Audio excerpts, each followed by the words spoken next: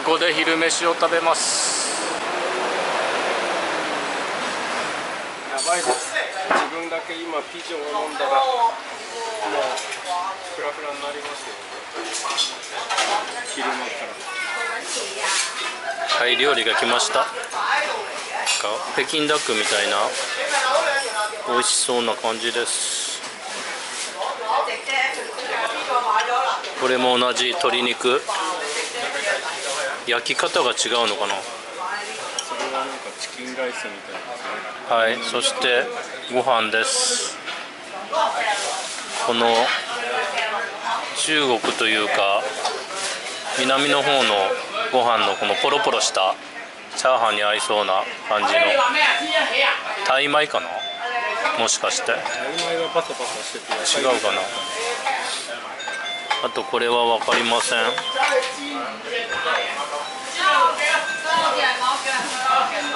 セットでコーヒーがついてたんでコーヒーも飲みます。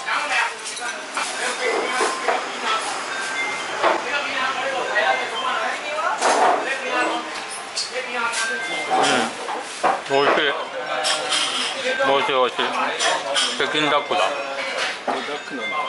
カカモだ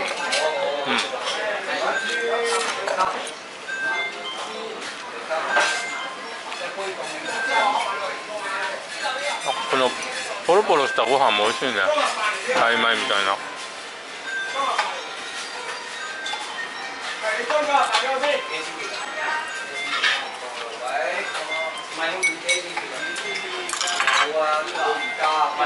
あそこに北京ダックみたいなのが吊り下げてあるんで多分これだと思います。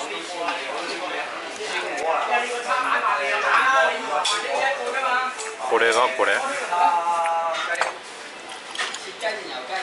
黄色いのとこの焼いたようなやつは味が違うのかな。うん。美味しい。こっちの方が美味しい。あそうなんですか、うん。なんか見た目。ちょっと甘い。甘い。あの なんていうのポーク？ポポークというかハムみたいな感じ。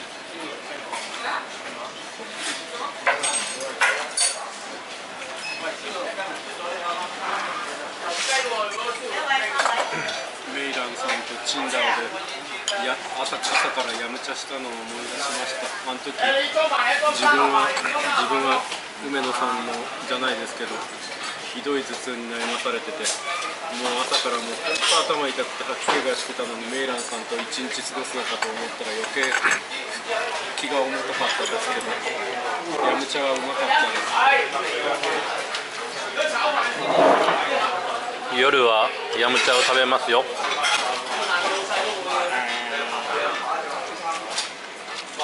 ヤムチャというのは普通夜じゃないんでしょメイランさんは朝連れてってくれましたぞホテルの？山ちゃんにヤムチャは朝食かな？山ちゃんって結局なんか茶とあの中華まんいろんな各種中華まんの自分で好きなの選んで食うっていうイメージがついちゃったんですけど。なんか3時のおやつみたいな感じ？でも朝はみんなあの中華まんみたいなやつを食うとか言ってた。わ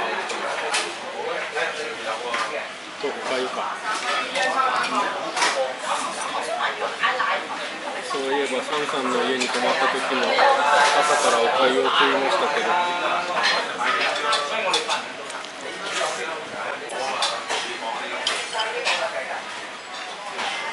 このチャーハン美味しそう。上の肉は豚肉？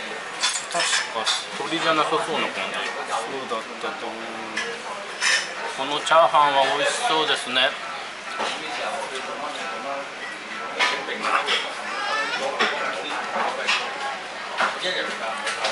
味はしっかり乗ってますでしょうか。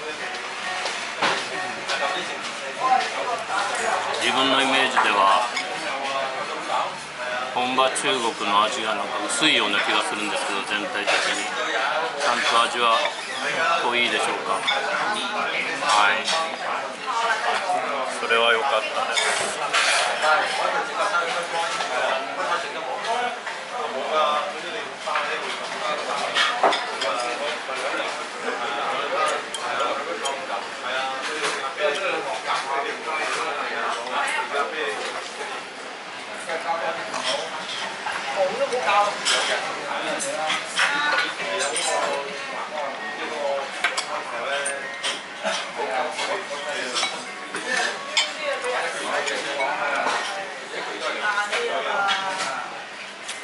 チャーハンにはこの米が合うね。